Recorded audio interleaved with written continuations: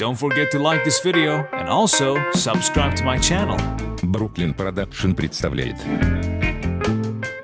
А, Немножечко компания RazoRock, если кто знает, то не знает, это канадский производитель, который продает свою продукцию на а, веб-сайте Italian Barber, там продается продукция со всего мира. И основная, конечно, категория это продукция, которую они сами сделали, то есть это бритвы из нержавеющей стали. Также они продают под своими логотипами бритвы и различные а, аксессуары, сделанные в Китае. Стопроцентный Китай, просто продают их под своими логотипами. Значит, по бритвочкам, как мне кажется, что их целью было достичь массовости и качества, и ценовая категория должна быть средняя. Средняя так и все получилось. Бритвы завоевали популярность, особенно бритва Game Changer. Она так и называется, мол, изменит игру, изменит э, все представление о бритье, как мне кажется. А, эта голова а, показалась всем интересная. Вначале выпустилась э, с гапом 0,68, потом выпустилась с гапом 0,84 миллиметра, вот это 84, как я сказал. А сейчас выпустили буквально до Нового года выпустили полгода назад с гапом 0.76, потом чуть позже выпустили с новым гапом 1.05. А, таких бритв еще не было у меня на обзоре. Достаточно было две бритвы, 68 и 84. 68, как я понимаю, и вы понимаете, это менее агрессивная, менее эффективная, а 60, 84 более эффективная. А, достаточно комфортные и хорошие бритвы, действительно всем пользователям понравились.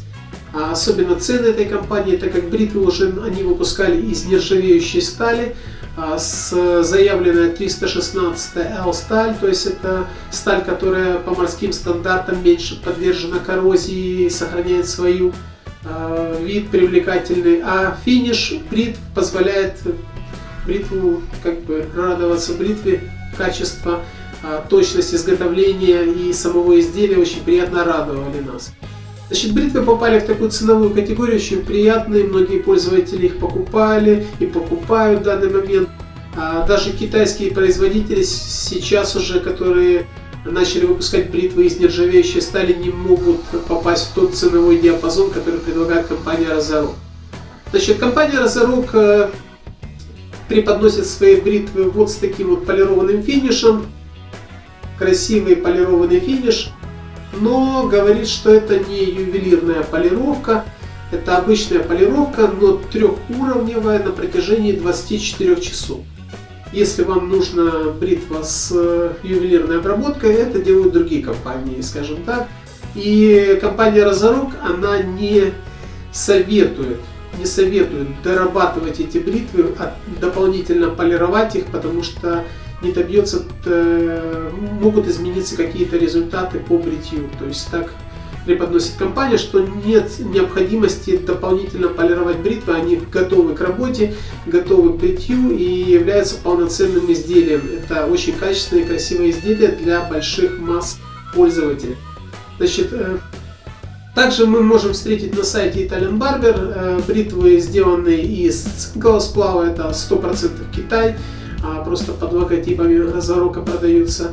Также есть изделия из алюминия и титана. титана. Вот такие вот изделия предлагает компания по очень хорошей цене. То есть бритва, если сравнивать по цене, стоила где-то 65-70 долларов в полной сборке с ручкой, со всеми коробочками и делами, да.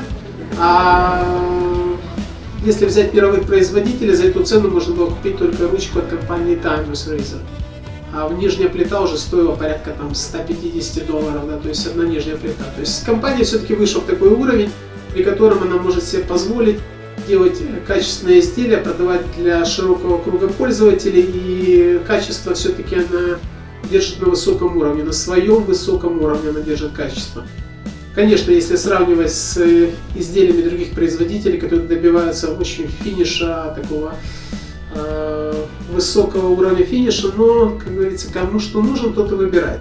Также представлено очень много ручек э, различных э, этой компании, сделанные в различных форм, названиями, материалами. Все это есть и по очень приятной цене, 10-12, ну, потолок там 15 долларов за ручку, сделанная практически идеально, это я считаю, что выше крыши.